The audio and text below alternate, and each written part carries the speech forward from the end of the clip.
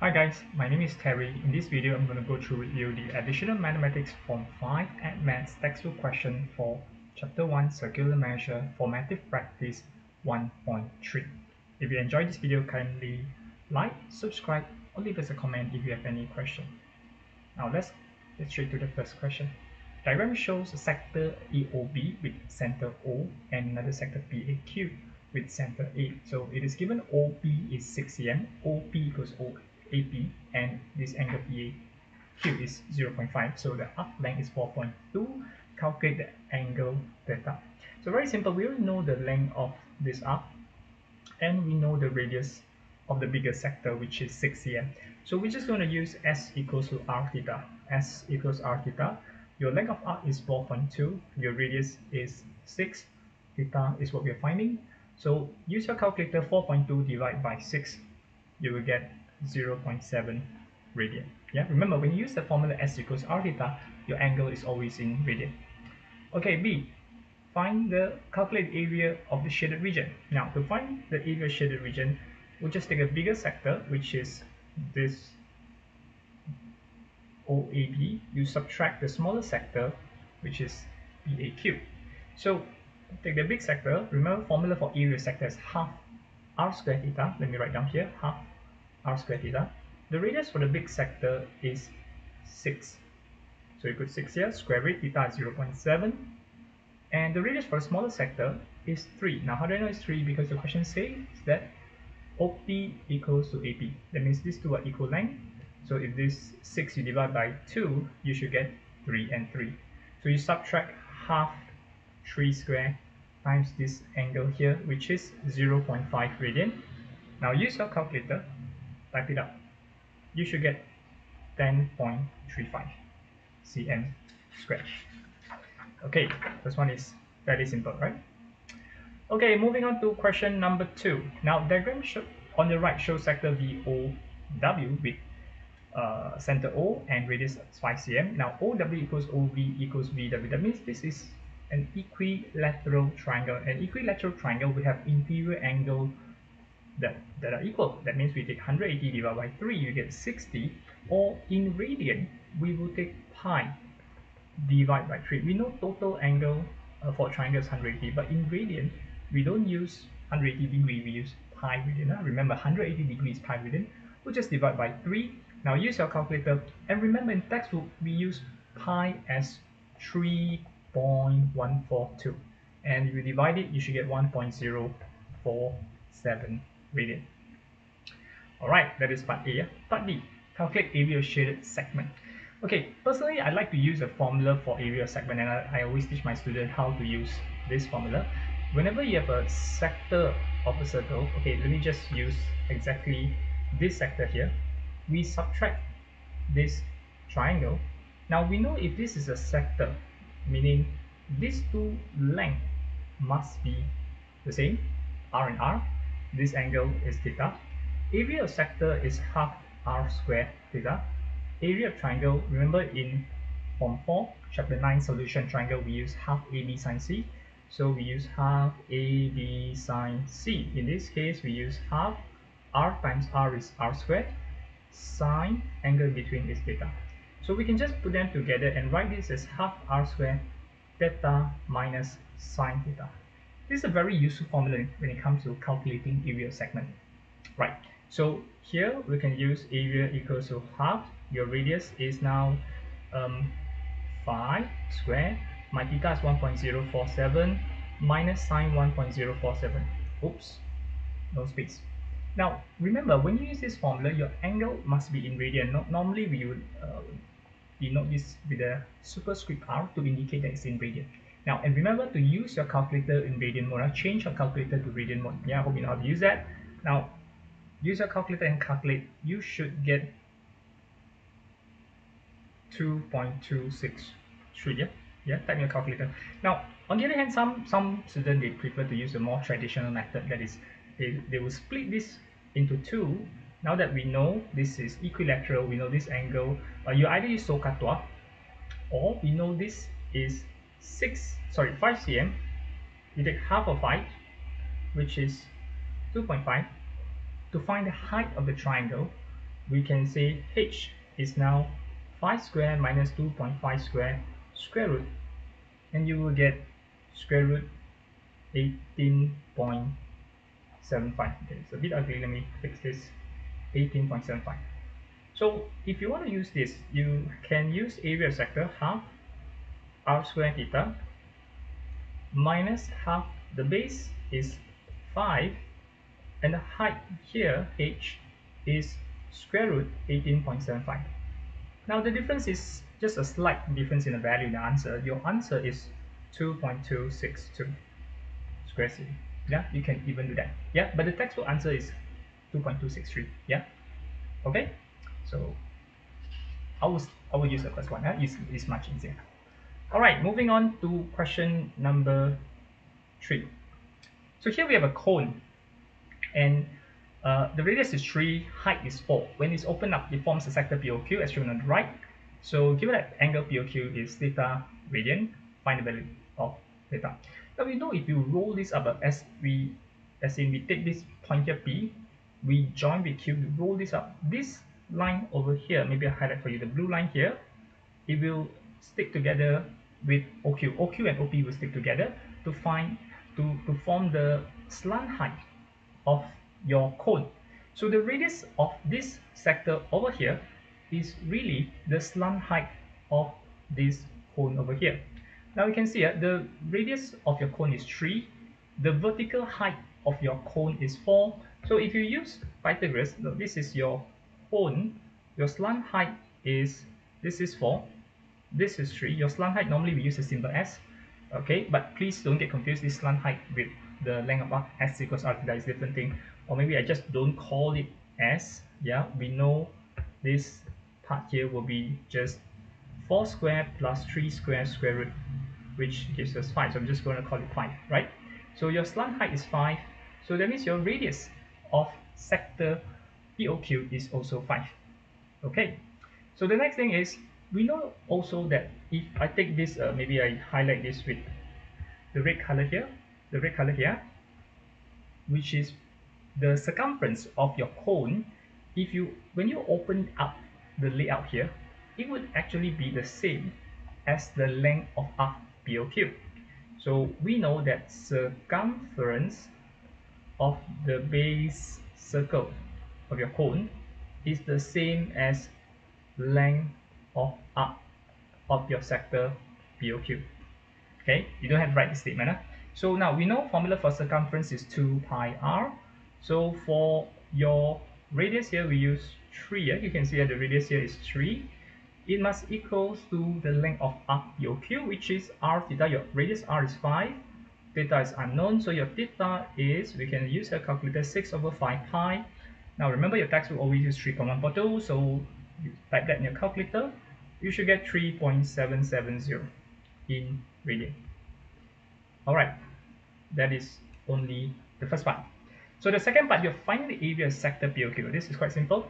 Now that I know the radius, I know the angle, we use half r square, your radius is 5, your theta is 3.770, type in your calculator, you should get 47.13. Okay, simple. That is question number 3. Okay, moving on to question number 4. Now, diagram on the right shows circle with center O and radius of 4 cm is given that minor arc length KL is 7 cm. State the value of theta in radian. Okay, very simple. This arc has the length of 7 cm, the radius is 4, so we just use S equals R theta. Theta is 7 divided by 4, which gives us 1.75 radian. Okay, next one. Find the area of major sector KOL. Okay, major sector, we are referring to this sector over here. Oops, so ugly. How can see that? The radius still 4. Um, maybe I just erase this. It's a bit hard to see. So, but this length of this uh, this angle KOL major, major means the bigger one, we must use 2 pi minus theta 1.75. Remember, one whole turn is 360.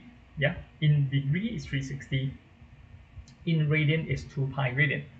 So if you want to find um, the area, we have to use half. The radius is 4 you square it. Your theta is now 2 pi minus 1.75 again please use 3.142 yeah? Type your calculator.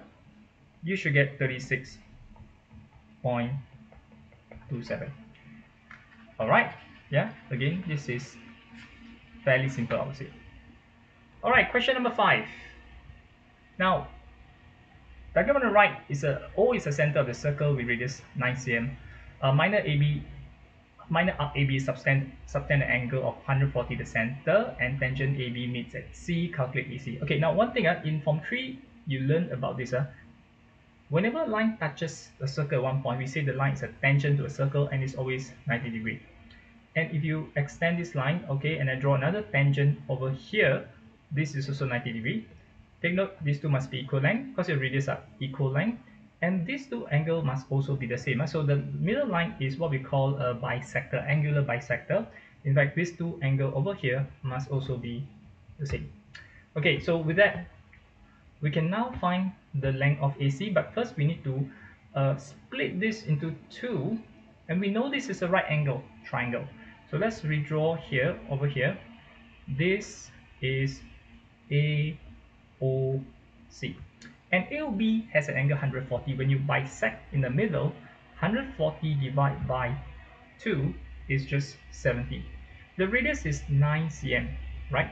So to find the length of AC we have to use SOHCAHTOA that is this is my opposite this is my adjacent and OC is my hypotenuse.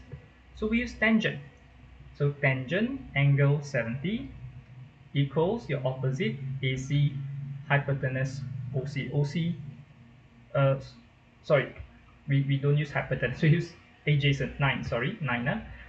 Tangent is opposite over adjacent. So let's take 9 and multiply over. Now remember to use your calculator in degree mode because this is tangent 70 degree. Yeah? Previously, when you, you probably have changed the calculator to radian mode when you're using the angle in radian. Yeah? Remember, Calculator mode affects uh, the usage of SOHCAHTOA sine cos tangent. When you type sine 1 degree is different from sine 1 radian. Tangent 70 degree is different from tangent 70 radian. But when you use a equals half r square theta, s equals r theta, it doesn't matter what calculator mode that you're in. Yeah, it works, right? So it's only affecting uh, uh, your calculation when you use SOHCAHTOA, alright? So let's multiply over my AC will be 24.73, very big value, huh? Okay, this is part A. Part B, we are finding the area of the kite. Now, look at the kite. Where is the kite? This kite is here. One, two, three, four. Basically, we just take the triangle times 2, area triangle times 2. Okay, to find area triangle, um, your AC is not a nice number, so um, it is. It's not. It's not a nice number, but it's okay you can just take half times base times height. Remember your base and height for triangle must be perpendicular to each other. Since they're perpendicular here, we can just use area of the kite as 2 times of the triangle. Your area triangle is half, your base let's say is 9, your height is 24.73. My answer is 222.57. Alright. C. Now we are finding area of minor sector OAB. Okay, when we say minor sector, we are referring to maybe use something mild, not so strong. Yeah, this one. Yeah, lighter color. Uh, this is your minor sector A O OAB. Yeah. So I need to calculate this area. So this is area. Uh, you want to call this A1. This is A2. Yeah. This will be half R square theta. Your theta is 140. Yeah, but please convert it to radian. Remember when you use s equals r theta or a equals half r square theta, your angle is always in radian. So you multiply pi and please use 3.142, uh, 3.142 and then you should get 90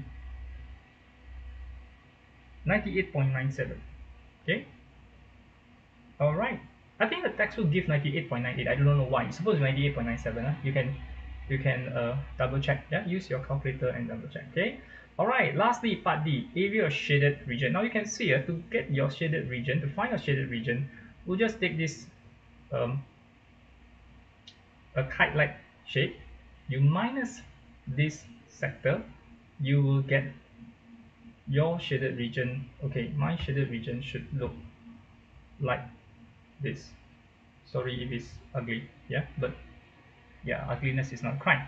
Now anyway my area of the kite is 222.57 this is your shaded area of your sector is 98.97 so when you subtract you should get 123.6 okay take note that your textbook give answer one as 123.59 I think it's because the earlier part they gave the answer as 9 either I think when it's supposed to be 9 7 alright that is question number 5 okay so this is still okay lah not so challenging. The next one question number 6 ah this one you use a bit of brain a bit a bit more challenging a bit yeah? Not not very challenging. Okay diagram on the right shows circular ventilation window in a hall. PQR is a major arc of a circle with center S line OPOR and the circle four panels are identical right? The other four panels are identical so blah blah blah the length of OS is 6 OSR is 60 show that RS is 3 cm now I know it's a bit small a bit hard to see so I'm going to draw a bigger version for you just that I'm afraid I may not have enough space. Uh, okay the bigger version let me draw here. This is your sector circle. This is a middle line this is a tangent this is a tangent. So this is 90 and 90 so this angle is 60 this is my P Q R S and this is my O. Okay it is given that this OS here is 6 here. And you're supposed to find the length of RS so for RS I think we can just use SOHCAHTOA alright? So I use um, cos a why cos because your adjacent okay let me highlight here this is my opposite. 6 is my hypotenuse. SR or RS is my adjacent correct? So I don't know my opposite I know my hypotenuse and I want to find adjacent. So cos 60 is RS divided by 6 so use your calculator in degree mode uh, degree uh, cos 60 in degree times 6 you should get 3 cm so how that's how you show RS equals to 3 okay next calculate the area of panel OPQR the OPQR we are referring to this whole area here. That means we are adding this sector together with this triangle. Okay let me use this triangle this triangle add together right so now let's count. Part I do it here. So your area of sector if I know this is 60 and 60 this should be 100 uh, 120 in total PSR minor. PSR major should be 240 now see this again now y 240 360 minus 120 minus 60 minus 60 yeah, which is 240 so we can find the area sector no problem. Your radius is 3 you square it. Your theta is 240 but please convert to radian by multiplying pi over 180 and remember to use 3.142 but I still to add the two triangle. Now the problem is I do not know what's the length of OR so here we can use uh, I think Pythagoras. Yeah will be quite easy. My OR is 6 square minus 3 square square root. Now you can also use SOHCAHTOA if you want to use sine 60 equals to OR divided by 6 you can Alright, so here I if I use Pythagoras 6 square is 36, you minus 3 square 9, 36 minus 9 is 27. I'll leave it as root 27. Now, if you use the silver calculator or the black and white calculator, you will get 3 surd 3. It's the same, huh? they simplify the. The calculator will simplify the surd for you. So we're going to add these two triangle. Uh, since there are two of them, so I'm just going to write 2 times of half times base times height. Yeah, your base is 3 your height is surd 27 you can do the other way around. You can times surd 27 times 3 same same thing yeah? okay so let's add this up. Your answer is 34.44 cm all right. Okay next. The window has uh, a rotational symmetry at O yeah in the end to the end order. Okay I hope you still remember your form 2 work yeah? Rotational what is a rotational symmetry? Rotational symmetry means like for example if I give you a triangle I have a, this this point here. When I rotate one the first time I rotate it the dot will be over here. The second time I rotate it the dot will be over here. Okay? The third time you rotate it the dot will be back here. All right so the question is um, how many different position I can get when you rotate it for 360 now order rotation symmetry the minimum is one. You can always get like uh, an object that has no rotation symmetry has order of one. So for equilateral triangle you have three yeah order rotation symmetry. When you rotate 360 you, this is the first point second point is your third point right? This one if you go back to the original position okay? So uh, equilateral triangle has order of symmetry of three. A square will have order of symmetry of four but look at the diagram here right? So maybe I start with point P okay? Uh, point point Q here. Let's say point here. When you rotate it this is one this is two this is three this is four you go back. So it's five huh? five order of rotation symmetry of five. So your n is just five. Okay but how do you calculate the area label t. Okay I, I need to draw a bigger version for you so I'm to move this up a little bit right? So since I don't have enough space so okay you can just imagine you can see the one on top. So I'm going to draw a big bigger circle here. You can see? Now when you break it up into five parts so I'm going to draw the middle line here. One. So this is two three four five now when you take 360 you divide by 5 you get 72 so each part of this has angle 72 in between right? And just look at this. If I join this together join this together can you see this? Right? So this is still the same shape that we have just now the uh, should I draw like this? Can you see that? Right? This is a tangent. So if you want to find the shaded region T you need to look at this sector in the middle here with the angle 72 this sector here right? And then you need to subtract um okay let me shade this huh? this part here can you see? And also this part here. So this is actually a triangle and half of the sector over here. See? It's a triangle the green triangle and half of this sector here. Now when you combine these two together what do you have? You have the two green triangle. When you combine let's say use blue uh, this and this together so what do you have? You have this yellow part here these two combined together. So basically when you combine together we are actually getting the same shape that we're getting just now. Okay so I just put them together as one maybe I draw like this.